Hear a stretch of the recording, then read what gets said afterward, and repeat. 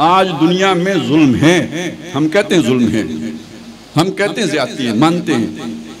मैं ये पूछता हूँ, ये जुल्म दुनिया में पिछले 400 साल में ही हुआ है। ये जुल्म दुनिया में सिर्फ़ खिलाफत के यानी जिसे हम खिलाफत कहते हैं, खिलाफत उस्मानिया 1924 उसके बाद ही शुरू हुआ है। ये इस जुल्म को इस रिवाज देने वाले हम खुद हैं। जी हाँ हम खुद हैं। वो करबला को कौन रोता है? ये मुल्क आज़म ये आके बरतानिया ने शुरू किया था, या इसको शुरू करने वाले हम थे? भाई, अगर अदल की बात करनी है तो अपने के ऊपर आती है तो नहीं करोगे? अबिल वालदेन तो यार, अगर हमने अदल की बात करनी है तो फिर जरा आँखें खोल के करें।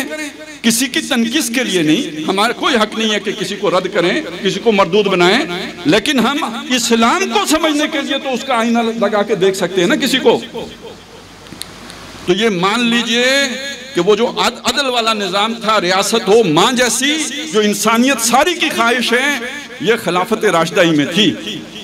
और उसके बाद उसके ऊपर दाग पड़े हैं दब्बे पड़े हैं उसको गहनाया है हमने कवामीना बिल किस्त के जो अपना मकाम था, उसे खोया है, छोड़ा है।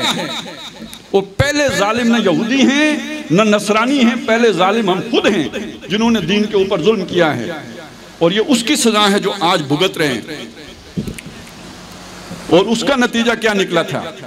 उसका नतीजा जो निकला है, मैं आपके सामने रखना चाहता हूँ कि अकवाम गैर गैर हम पर यूँ टूट पड़ी, जैसे कि भूखे दस्तरखान पर टूटते ये हो चुका है। ये अभी नहीं हो रहा। ये हो चुका। कब हुआ?